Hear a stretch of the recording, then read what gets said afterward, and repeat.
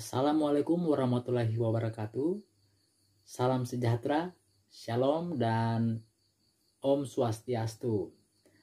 Halo kawan-kawan YouTube, ya kawan-kawan Facebooker, ada juga ibu-ibu KPM, ya. Bagaimana kabar hari ini? Tentunya sangat luar biasa ya. Semoga eh, rezekinya makin bertambah, saya kira. Dan saat ini eh, saya akan memberikan informasi terkait eh, bantuan PKH atau dana bantuan PKH untuk bulan Oktober besok. Itu nantinya akan bertambah lebih banyak atau lebih besar. Dan juga ada informasi terkait eh, ada komponen yang baru ya informasinya ada komponen yang baru di eh, PKH. Nah, bagaimana eh, informasinya? Tetap eh, di channel Budi Sometimes ya. Jangan di skip videonya, jangan dilewati ya sehingga tidak gagal paham dan bisa menyerap informasinya eh, secara benar.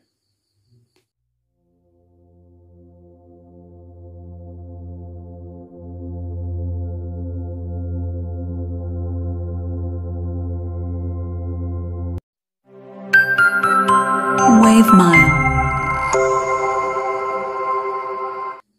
Iya, masih bersama saya dalam channel Budi Sometimes ya.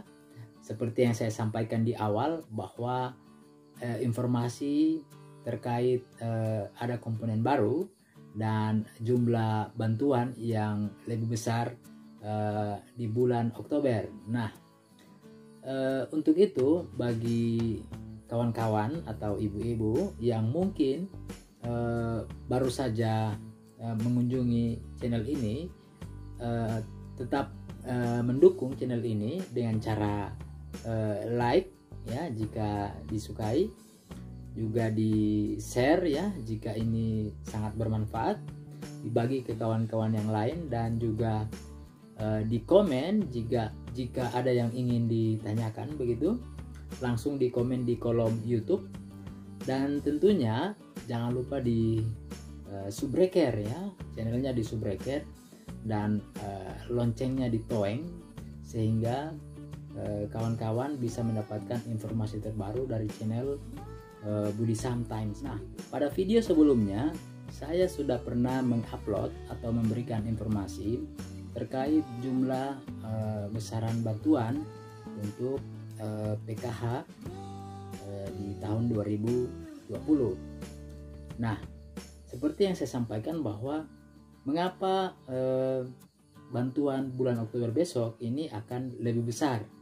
Nah, jadi informasinya adalah ternyata untuk bulan Oktober itu eh, jumlah atau skema penerima itu menjadi eh, triwulan ya kalau sebelumnya pada masa pandemi sebelumnya ini eh, jumlah bantuan itu diterima eh, setiap bulan ya sehingga jumlahnya eh, lebih kecil atau lebih sedikit.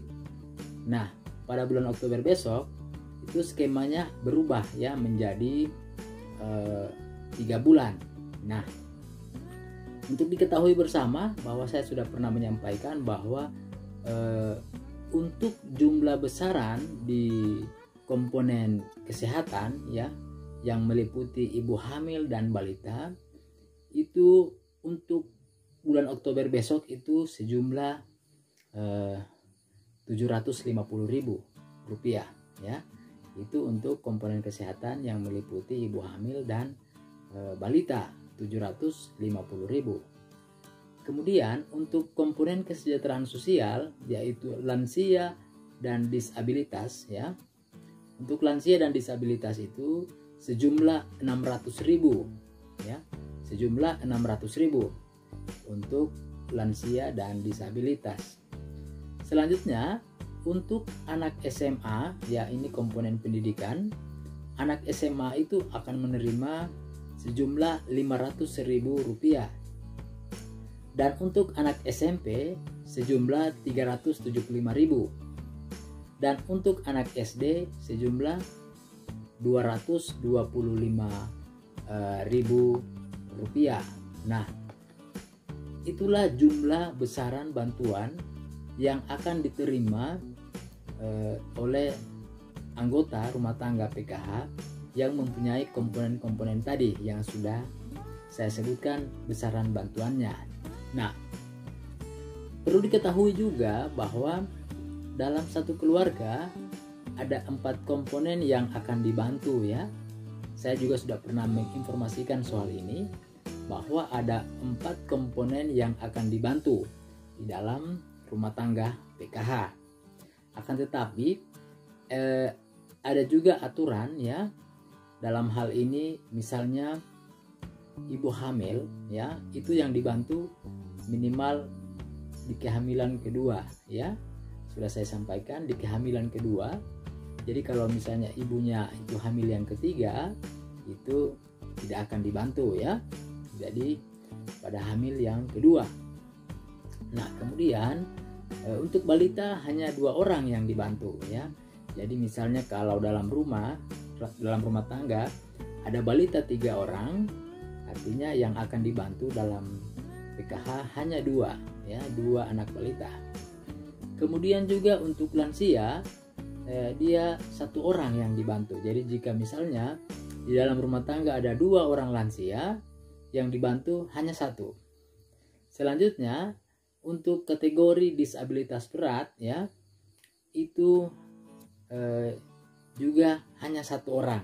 Nah, ini sudah terjawab ya, karena eh, di komponen eh, di daerah dampingan kami ada dua orang disabilitas dalam satu keluarga.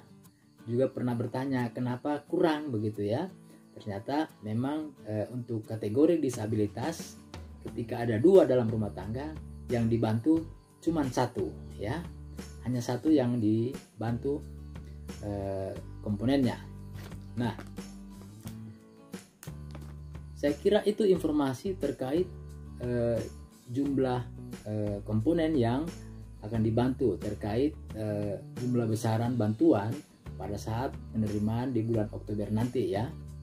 Nah, perlu diketahui juga bahwa untuk bulan Oktober nanti itu dia cairnya langsung tiga bulan ya dengan jumlah yang sudah saya sebutkan tadi.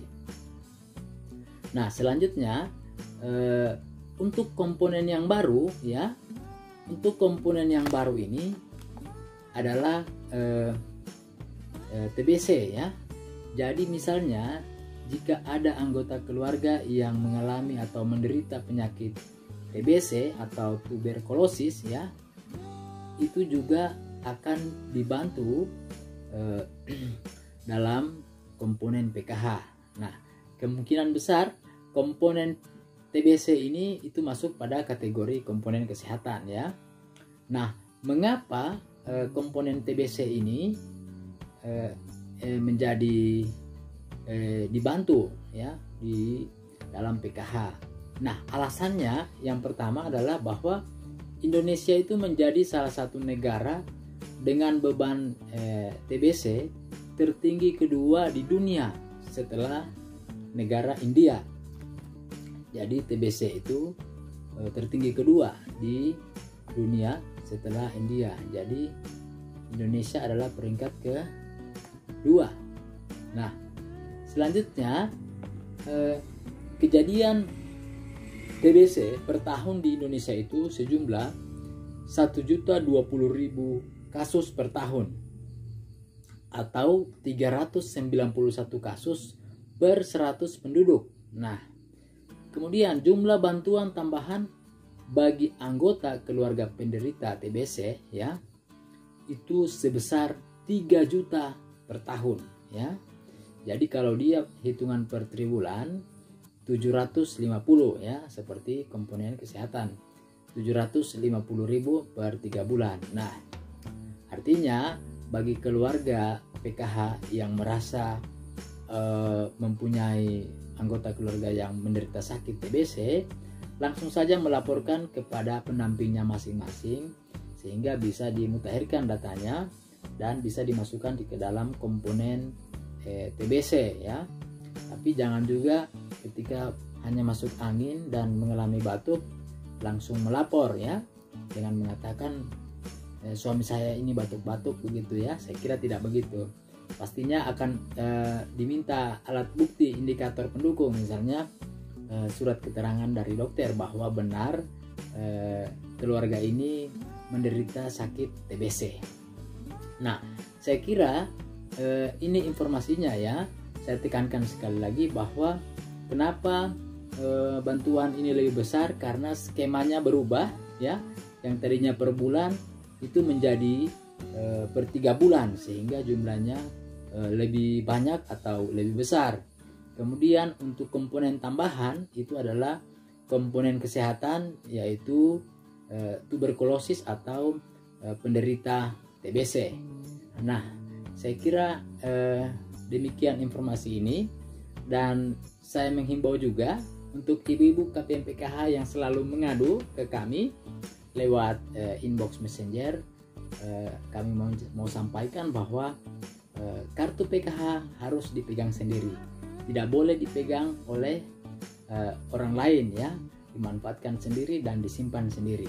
Tidak ada uh, aturan yang uh, aturan kartu itu harus dipegang oleh pendamping ataupun ketua kelompok ataupun pihak agen ya. Saya kira demikian informasi ini. Semoga informasi ini bisa bermanfaat dan bisa memberikan edukasi yang baik untuk kita semua. Terima kasih. Salam PKH.